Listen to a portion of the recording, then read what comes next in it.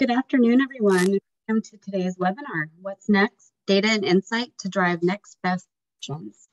This is the first in our industry webinar series, one-on-one -on -one with H1. To sign up for future webinars, we invite you to visit www.h1.co. Before we get started, I'd like to go over a few housekeeping items so you know how to participate in today's event.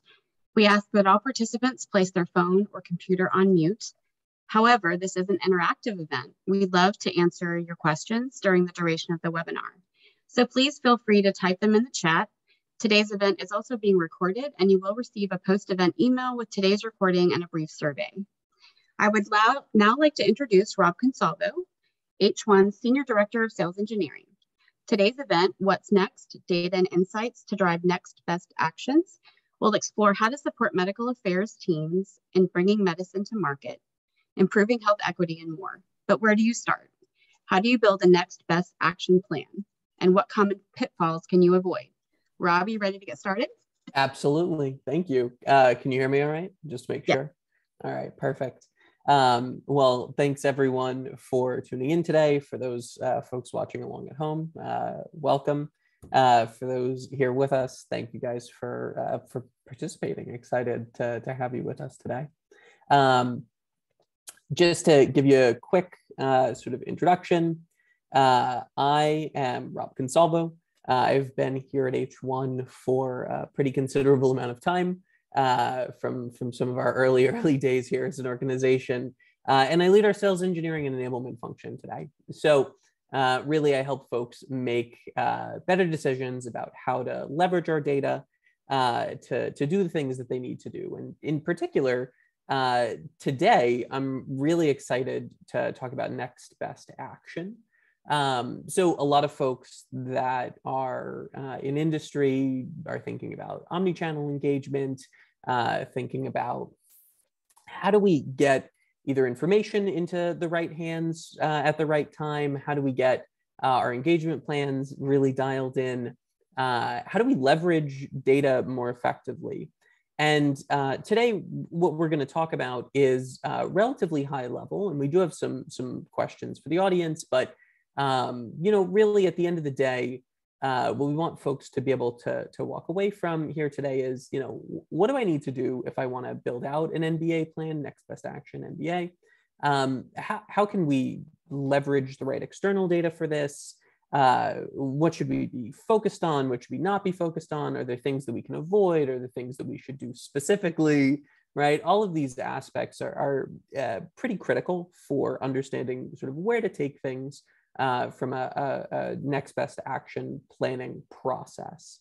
Um, so in terms of time just to make sure we're level setting here um, we have about another 25 minutes on the books. The whole presentation shouldn't be more than another 15 minutes or so. So we'll have plenty of time for questions or uh, anything else that may, may come up. So um, at the very least, to get us started, for the folks that are here, and we only have a couple, um, are any of your organizations currently leveraging next best action? Is this something that's uh, relatively common within your organizations? Are folks thinking about this? Are they doing this?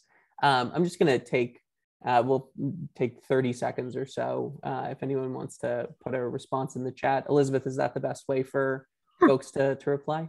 Yep. Perfect. Reply in the so, chat. Uh, and hey, really, you, oh yeah, please go ahead. Hey, can you hear me okay?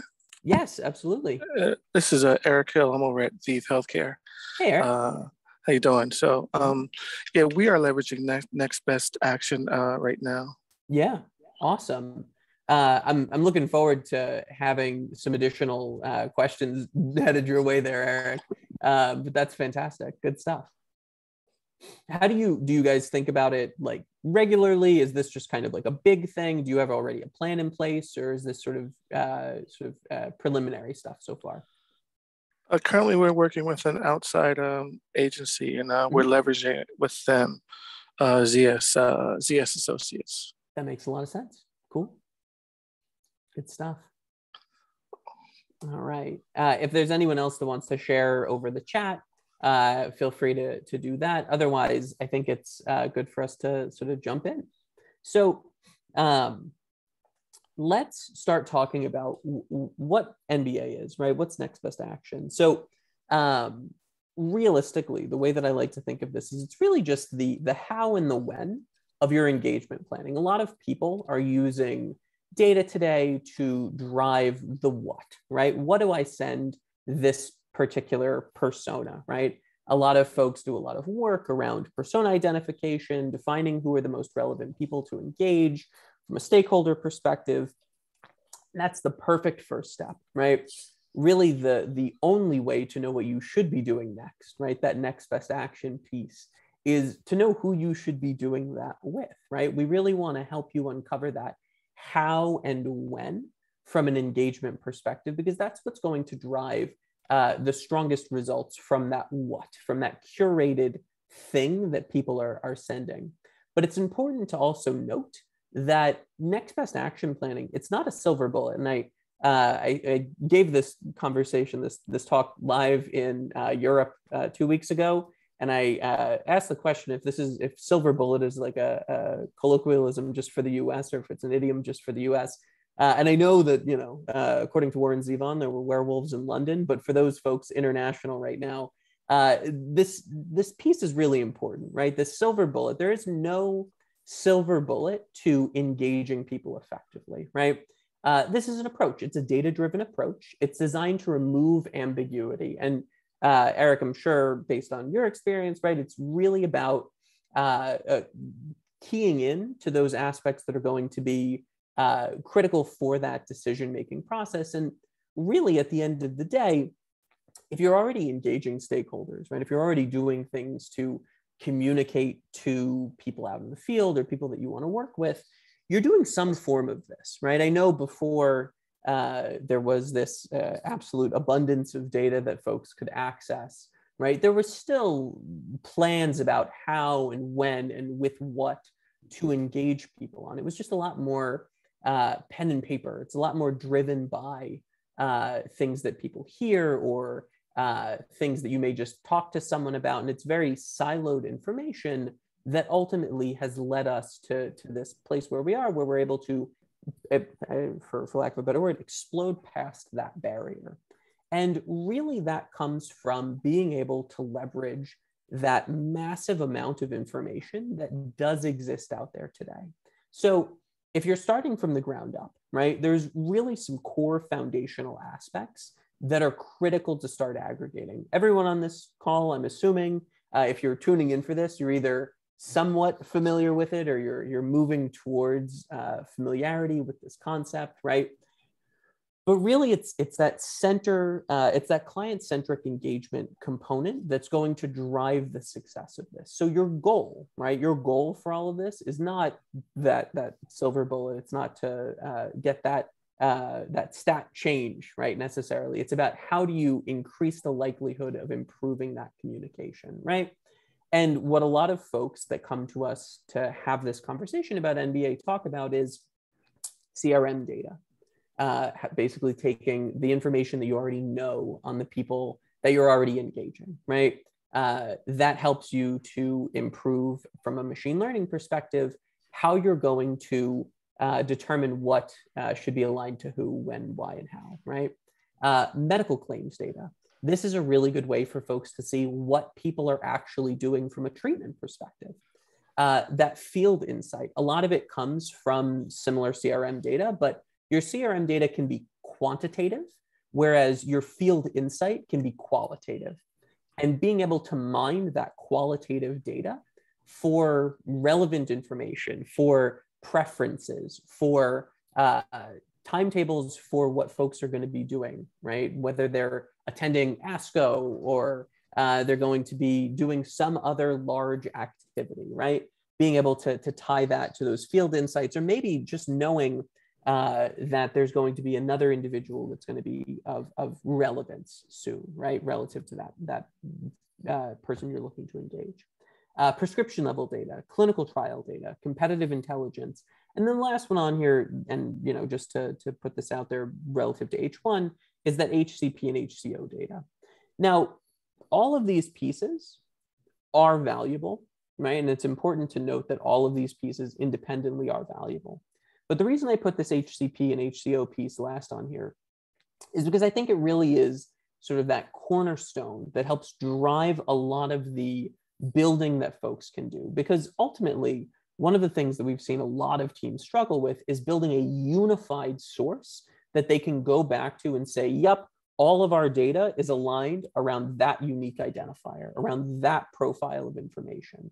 And being able to tie all of those pieces together, it allows you to draw that insight from such a large pool of information that you have a better likelihood of narrowing in on that when and how. Remember, all of this information is predicated on the fact that you have a, a machine learning process that's going on behind the scenes to help you sift through all of this information. So with that, I want to open it up and ask just another question, right? We talked about uh, a whole host of, of data that's relevant and, and valuable from a next best action planning piece.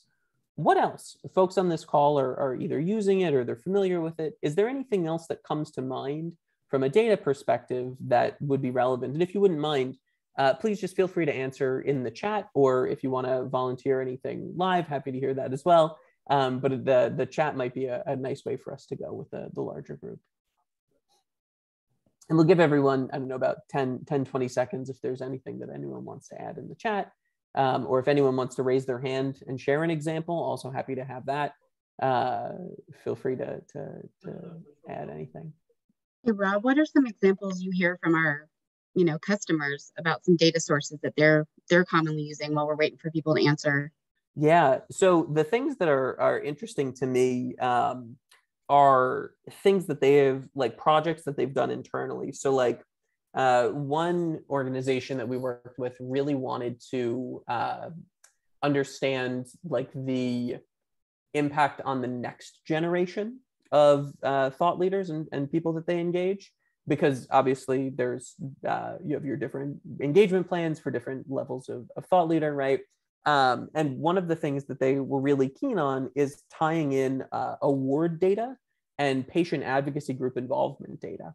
And both of those pieces were really sort of critical for them with their sort of, uh, this was uh, 2020, late 2022, early 2023 planning that they were going under. Um, it was really critical for them to, to get all of that in line before continuing uh, the rest of the process. I know the patient advocacy piece is, is important for diversity as well. Yeah, absolutely. Diversity aspect. Yeah, absolutely. Absolutely. It also is critical for understanding some of that when, right? And the how piece, right? Because your when is often predicated on like what those individuals' schedules look like.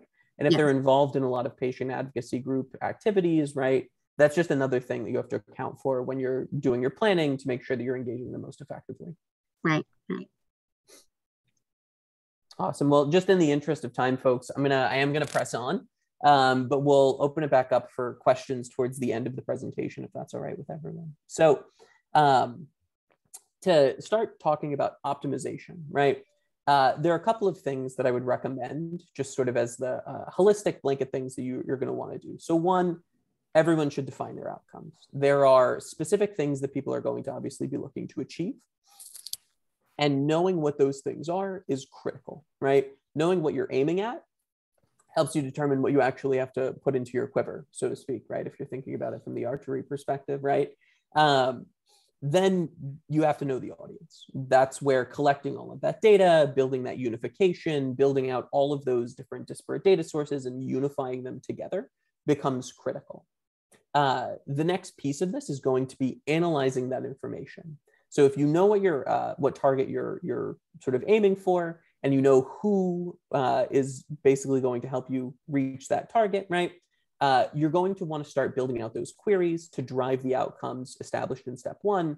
And then, and this is really critical, you're going to want to use those interactions to drive the next piece as well in the next phase. All of this information is, I, I don't want to say useless in, in uh, isolation, but it's not nearly as valuable as nine or 10 iterations of this type of interaction, right? Being able to see, hey, maybe we overweighed too heavy on one aspect versus this other one later on helps you optimize that approach.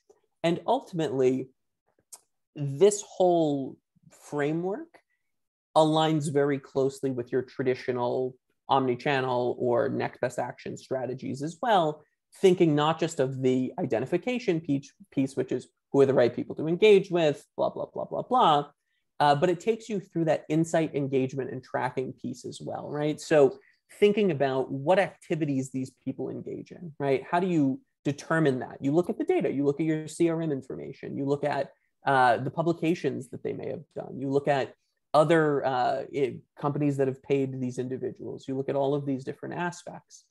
Then you look at those engagements. You look at what you've done with them. You've got a lot of this information on these individuals already. So how can you make some some uh, efforts to move them more easily through topics, to move them more easily through uh, the phases of what you'd like to engage them on, right? It comes down to knowing those people really well, knowing what you're doing with them, and knowing what others are doing with them as well. And ultimately, that tracking piece, that successful engagement, does require that iteration and the measure of impact over time to have the results that folks are looking to achieve when they're doing their next best action planning. So I want to talk through a quick case study, something that we've done in this area. This is not all we've done in this area. We've done a lot of different things. But first, I want to just talk about H1 real quick for the folks who are perhaps not super familiar, right? Uh, we are a force that is uh, helping to democratize the access to information through our composable platform, right? We have all of these different dimensions, we have all of these different components, and we're able to compile them all together to help folks get the access to the information that's going to be most relevant to them as they're going through their day-to-day activities. And you can see we've got a whole host of information here from things on the uh, medical devices side and our, our sales side to our core HCP universe, which is our flagship, to getting things on trial on clinical trials, generating proprietary insights from physicians themselves through faculty opinions, validating data through precise. All of these different aspects play together, and again, create a more democratized approach to, to data, which is really what we helped our client in this example dig in on. So, as a uh, just an example, we worked. This was a, a top five pharma that we worked with. And essentially, what they came to us with the, the question of is how do we know that what we're doing is having the impact that we want it to have? Right? It really is the core of the next best action concept, right? And to meet this need, we had to do a lot of steps before you even get to uh, the table, right? You have to you have to cook the turkey, you have to set the table, you have to uh, you know prep everything ahead of time, and then you get to actually get to the table itself, right? So for our, our, our, table setting, right, we had to do a lot of discovery. We helped this client essentially uncover what those new targets were, uh, those rising stars. This is a different example than, uh, than, than the one I spoke to earlier, but same idea, right? Who are those people that are going to be relevant for the things that we're trying to accomplish, right? It's the first step uh, that I've outlined on those other slides as well, right?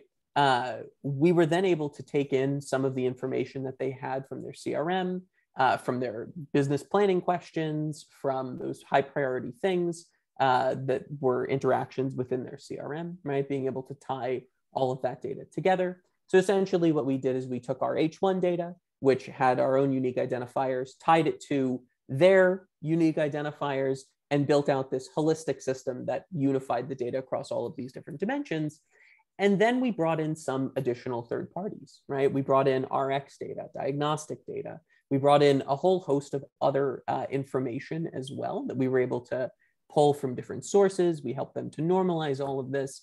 And ultimately, we were then able to uh, measure the impact that all of these different initiatives and activities were able to have for that client, right? We were able to look at their uh, their information, the recorded data that they had, uh, to show that over time, doing the, uh, the, the, the different cohorts, right, that were essentially done, they were able to see a significant uh, increase in results from that group that had the most well-defined and structured profiles of who the individuals were and the most rigid sort of path towards those actions that they were looking for them to take. And ultimately, the result in this, this was a, a, a one off small uh, implementation that we did initially. uh, grew to a very significant size, right? Multiple countries, multiple regions, multiple uh, uh, topics, even multiple therapeutic areas of focus, because we were able to demonstrate that impact for this level. And what I hope everyone can take away from this, and then I'll open it up again to questions, are some of those aspects that are going to be uh, uh, critical as sort of defining the next steps, next best steps uh, for the folks who are, are listening in today or tuning in at home. So, one, build a cross functional understanding. This is foundational because right now, I guarantee for everyone who's listening to this, there are data silos within your organization. Even within data oriented companies, there are data silos that exist within those organizations.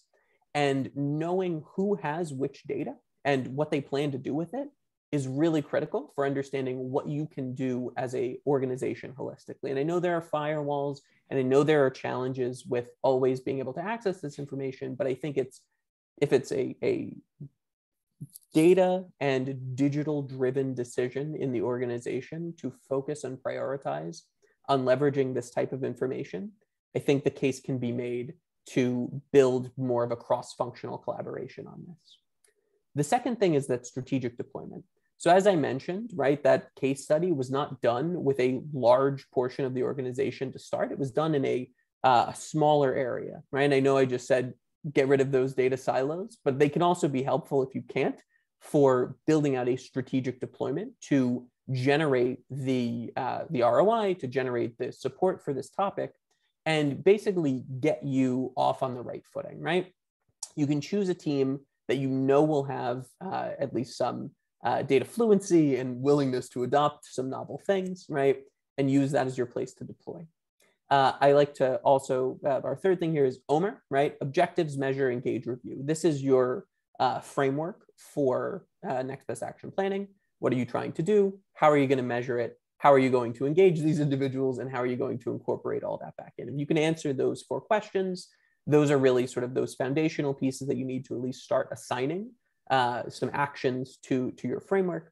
And then the final thing here, and this is, uh, I think, very valuable, is this parallel work streams.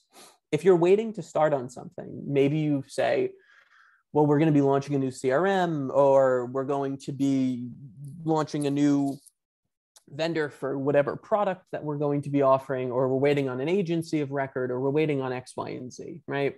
Uh, I don't necessarily think that waiting uh, is always the, the best way to approach on this. I think there's reasons to wait. You want to build consensus, you want to build uh, support, and you want to sort of move things forward in the most effective way. But there are ways to run parallel work streams in this to where you can begin the work of launching an best action plan or an omni-channel plan or some other form of engagement planning process while not necessarily allowing those uh, more structural or bureaucratic issues to get in the way of that progress that teams are looking to make. And I know all of these uh, are, are easy to say, not necessarily easy to implement, but uh, one of the things that uh, I'm always happy to do is answer questions, uh, whether that's today or outside of today, uh, to give folks some, some clarity on how to approach this. Um, Elizabeth, I can yeah, kick it back over. Um, we had a couple of questions uh, before the event. Okay. Um, one is why is it important to look beyond traditional KOLs? Yeah, absolutely. So uh, uh, the the example I gave before, uh, where we were able to look at those rising stars, I think it's a good example. Um, traditional KOLs are inundated already. They're a part of everyone's plan. Uh, they're often the plan when it comes to engagement for the most part um, what we've seen over the past three years is folks are starting to be more and more concerned about your non-traditional folks as well. So digital opinion leadership, uh, treatment landscape people, people who are more involved like a community level, um, rising stars I mentioned before, but like being able to tie all of those different non-traditional folks to your engagement planning process, whether that's uh, at an institutional level, just giving you a map of like how uh, that institution is structured, or just giving you some other ins that you might not necessarily have, or even just a path to engage someone who is going to become more significant of an influencer from a whatever perspective that might be. right? This gives you the opportunity to actually know what it looks like on the ground as opposed to just making the assumption that that key thought leader, that top level person, owns and controls all of that influence, which is just not true in today's sort of digital and more democratized world from a data perspective. Great. And do you have a best practices approach um, that MedAffairs can use to measure the impact? Uh, yeah, so that one's real hard. Uh, don't get me wrong. Uh, I'd love to say, yep, we've got that one completely cracked. We have some great ideas. Don't get me wrong.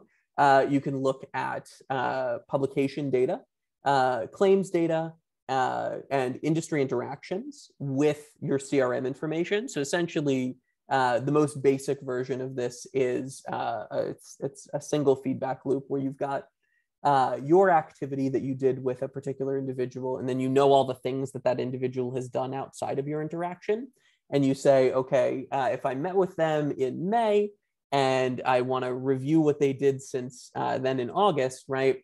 I can have uh, uh, an idea that my interaction may have influenced a shift in their their thought share. Uh, there's yeah. way more to that. So, like, if anyone else wants to have a conversation about this, uh, it's definitely something that we'd love to to dig in on more.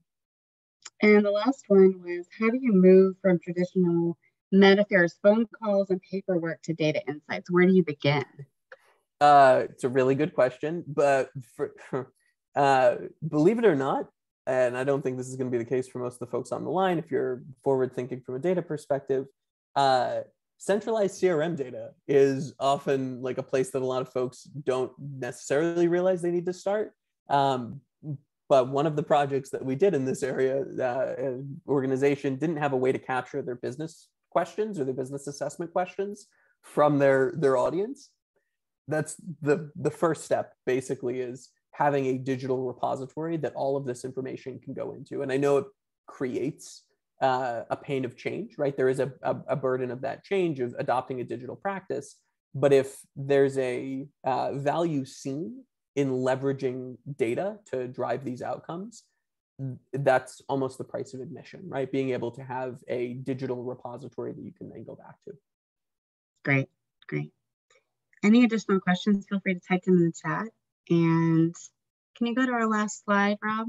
Absolutely. There we go. These are all the ways that you can connect with H1. And thank you, Rob, and thank you everyone for attending. Um, if you'd like to learn more about H1 and how we can help drive the next best action, you can visit www.h1.co or you can email Rob directly at robert.consalvo at h1.co. You'll also receive a follow-up email within 24 to 48 hours with a link to view a recording of today's webinar, as well as a survey. And we would appreciate if you would complete that and provide your feedback. And on behalf of H1, thank you for joining us and have a great rest of your day. Thanks, everyone. Thanks.